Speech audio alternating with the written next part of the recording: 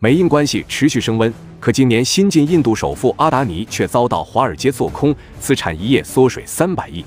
近几年，美国持续打造印度制造业基地，还实施联印抗中战略。可就在今年，华尔街却一手策划做空印度首富阿达尼。印度即将面临的会是什么？在视频开始之前，请各位粉丝朋友点击视频右下角的关注支持下。当今的世界格局基本是美苏冷战以后形成的，美国和印度也不例外。成为世界独一档的超级强国之后，美国对待世界各国的态度大相径庭。对老伙伴欧洲各国，美国从之前的狗腿子变成了领军者；对待俄罗斯，相比于苏联缓和许多，但仍然将其当作最大敌人。对待日韩等国，则是直接强势对待。美国对待亚洲的态度基本以打压、控制为主，这其中却有一个例外，那就是印度。冷战之后，美印关系从疏远到亲近，两国之间的合作越发频繁。二零一四年，莫迪当选印度总理，刚上任就向美国示好。二零一九年，特朗普当选总统，莫迪更是直接发文庆祝，将笑脸送到美国人面前。面对莫迪的主动，特朗普欣然接受，不仅在二零二零年的二月开始了印度访问，更是直接将美印两国上升到了战略合作伙伴关系。到了如今的拜登时期，美国和印度已经在多个方面开展深入合作，包括军事领域、双边贸易等等。美国在印度获得了三十亿美元的军事武器售卖合同，其中不乏罗密欧和阿帕奇这样的先进直升机。在海上安全方面，美印的合作就更加频繁和密切了。两国举行了军事演习、海上巡逻、打击海盗等众多联合行动，还签署了后勤保障协定。截至今年，美印已经举行交流活动五十多次，美国也成为了印度自建国以来交往最频繁的国家。美印关系升温的原因是多样的。首先，就是因为我国的崛起，我国在近几年的发展十分迅速，这让美国感到了危机。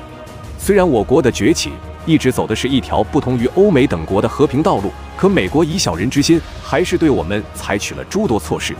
联合印度就是其中之一。美国提出所谓新的印太平衡战略，虽然没有明确提及我国，但每一个动作针对的都是我国。印度对我国的态度就更加无需多言了。二十一世纪，印度一直都将我国当作追赶的目标，在各个领域都尝试对我国超越。虽然结果不忍直视，但印度针对我国的想法和美国不谋而合。美印交好的第二个原因就是美印都希望以此提升自己的地区影响力。美国在亚洲的控制力有限，海上力量由于第一岛链的存在，美国可以笑傲亚洲，但在路上就有些乏力了。而印度这些年一直都想当亚洲老大，美印目标一致，步调一致。合作也是水到渠成的事情了。在发展战略上，美国改变了原有的认知。此前印巴冲突激烈，美国不愿从中站队，一直以中立者的角色从中斡旋。然而，随着印度的发展以及我国和巴基斯坦的交好，美国发现印度能够成为自己在亚洲的辅助力量，加上印度拥有大量廉价劳动力，也能在产业链中发挥更大的作用。从近几年的表现来看。美印邦交关系走向是光明的，在双方需求一致的情况下，美印关系更加紧密是十分有可能的。也有专业人士认为，美印关系是有一定局限和极限的。当下美印关系的核心还在我国身上，而这都是建立在我国会成为霸权主义国家的基础上的。可能美印两国还拿不准，但对于我国来说，我们十分清楚，我国不会走霸权道路，因此美印联合的出发点并不牢靠。另外，印度与美国交好也是总统莫迪的大力推进。随着莫迪退出政治舞台，印度还能将这条方针贯彻下去吗？换句话说，印度还甘心成为美国小弟吗？这都是未知数。这些理由不无道理，但短期看来，美印交好仍然是主旋律。可就在全世界都以为美印同盟下的新的亚洲体系已经建立的时候，美国突施冷箭，不仅打了印度个措手不及，也让我们大惊失色。今年年初。华尔街兴登堡公司发布了对印度阿达尼集团的做空报告。兴登堡公司是美国著名的做空机构，主营业务就是针对国际集团寻找营业漏洞。他曾对美国俄亥俄州某汽车企业进行做空，直接导致其高管全部辞职，企业也直接陷入绝境。而今年他对印度阿达尼集团的做空可谓空前。和一般跨国集团不同，阿达尼集团对印度的意义十分重大。阿达尼集团是印度的大型企业，主营业务多样且重要，在基建、航运、空运等众多方面都有涉猎。它占据了印度五分之一的航运业务，三分之一的空运业务，阿达尼本人不仅是印度首富，更是一度成为亚洲首富。不仅如此，阿达尼还和莫迪的关系十分密切。在莫迪实施的众多提振国内经济的措施中，阿达尼一直充当实施者。印度需要基建，阿达尼就跑去做了基建；印度需要高新技术，阿达尼也紧随其后。因此，我们能够这样说：阿达尼代表了莫迪，而莫迪则代表了印度。从这个角度，兴登堡对阿达尼的做空可以说是美国对印度的制裁。在这份报告中，印度阿达尼集团涉嫌股票操纵和财务欺诈，美国方面认为其股票还有超过百分之八十的下降空间。随后，美国穆迪和标普公司下调了阿达尼的业务评级，让其丧失了在国际贸易中的竞争力。阿达尼公司的股票也在短时间内大幅下降，此举直接导致阿达尼本人的财富急剧下滑，数额高达五百亿美元，集团市值更是直接被腰斩掉一千多亿美元。这个数字在我们普通人看来简直不可想象，但是对于国家来说，尤其印度这样领土广阔、人口众多的大国来说，其实并不算十分致命的打击。即便是对阿达尼本人影响也是有限的。真正影响印度的是美国金融制裁之后的事情，以及美国为什么会这样做。前面提到，美印关系发展，不论是从现状还是未来，都是向好的。此时，美国选择金融制裁是比较蹊跷的。之所以如此选择，是印度的走向和美国想象中的并不一致。二者虽然有共同的利益，但印度并没有朝着美国计划进行。美国需要使用方法让印度就范。美印有共同打击对象中国，这不假。但美印努力的方向并不一致。对美国来说，希望自己能够在亚洲的控制力进一步提升，同时限制我国发展。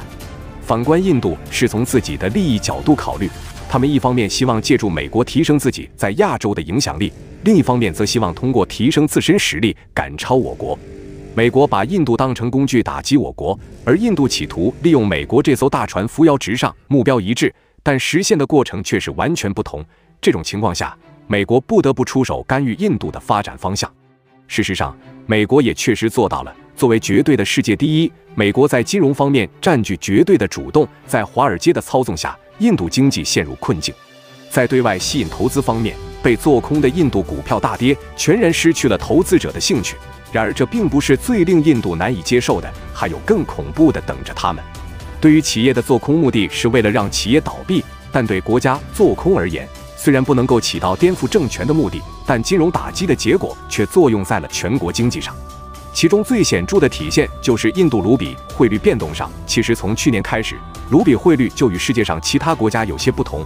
当美国加息度过经济困境的时候，包括欧洲、我国、日本等国家的国内货币纷纷出现升值，唯独卢比没有出现变化。当时印度错过了升值窗口，如今再次面对经济波动，卢比已经迎来巨大危机，而本国货币崩盘几乎就意味着全国经济危机。加上印度还拥有很多短期债务。马上就要面临还债期限，美国选择这个节点对印度做空，很难相信不是故意的。这时候肯定要有人会问：不就是美印方向不合吗？美国至于这样大局报复吗？就不能找莫迪开个小会，假意威胁一下？相信莫迪作为一国领导人也会明白利害关系。但是国际事务中一切发生都有缘由，美国的举措都是建立在大量事件上的。之前说到美印发展方向出现偏差。但这并不足以让两国撕破脸。真正让美国接受不了的是，印度悍然不接受美国的产业政策。我们都知道，随着我国发展，我国制造业得到了长足进步。美国此前将我国当成世界工厂，利用我们的廉价劳动力为美国打工，还限制我国自身发展。但他们不知道中华民族的韧性有多恐怖。在欧美军事打压、技术封锁的条件下，我们还是完成了产业链的升级，不再需要美国施舍，经济发展也更加独立。美国看我国已经控制不住，马上转头寻找新的替代品。领土面积同样广阔，人口甚至更多的印度走进视野。印度面对美国青睐也是十分欣喜，马上敞开大门迎接列强。可还没等美国高兴，两家合作没几天，美国就意识到了不对。印度阿三嘴上说的痛快，可真正落到实处，没几件事情办得成，并不是所有国家都有我国这样的执行力和完成度。美国希望印度撑起世界工厂的名号，让制造业能够从我国转移出去，在印度生根发芽，但事情发展没那么顺利。印度虽然劳动力众多，但真正能用的没多少，大多数人没有接受过教育，而且宗教信仰十分复杂，光是用工这一条就没法满足美国人的要求。此外，印度政府的态度也十分复杂，他们既希望美国施以援手，让印度发展制造业，可莫迪又不想牺牲本国企业。在保护主义之下，美国的制造业到了印度反而成了二等企业，工厂效果不高还不算，竟然还得不到政府的重视。最关键的是，印度还希望保持绝对独立的产业结构，借助美国制造业发展本国企业，这绝对触碰到了美国底线。要知道。美国赖以生存的就是核心技术配合海外工厂，打造其列强式的全球化。而印度的行为显然有些痴人说梦了。如此一来，美国做空印度就顺理成章了。一方面是两国合作不畅，另一方面印度的欲望超出了美国底线。美国一直作为剥削者，如今碰到印度，居然想来个角色互换，这怎么能够实现呢？美国的霸道是一贯的，而印度也为自己的不现实付出了代价。印度如今面临众多金融难题，可以说，只要美国想，印度股市立马就会崩盘，卢比也会迅速出现大幅通胀，其经济已在悬崖边缘。莫迪要想解决也很容易，无非两条：一是放弃挣扎，听从美国人的领导，经济上完全依赖美国，坚定的以美元为导向，让印度成为美国式全球化的一部分；产业上放弃自主，让美国制造业流入，成为第二个世界工厂。这样的过程是温和的、无痛苦的。只要印度无条件听从美国，相信印度的经济很快会迎来腾飞。但这样做的缺点也是明显的，丧失了经济和制造业控制权。试问印度还算得上一个主权国家吗？另一个办法，那就是自断一臂，彻底割裂与美国的关系，重新回到上世纪的状态，执行政治上的不结盟，技术上的自主，完全依靠自身力量。独立的代价自然也是巨大的。回想我国为了实现国内产业自主，几十年来承受了多少欧美的打压和威胁？即便今天我们仍然在承受着痛苦。莫迪作为印度一代铁血领导者，对外强硬是一贯作风，但也是他一手将印度带到了美国的怀抱。因此，我们谁也说不准他会做出什么决定。不过可以肯定的是，不论印度怎样选择，亚洲乃至世界都会发生动荡。幸运的是。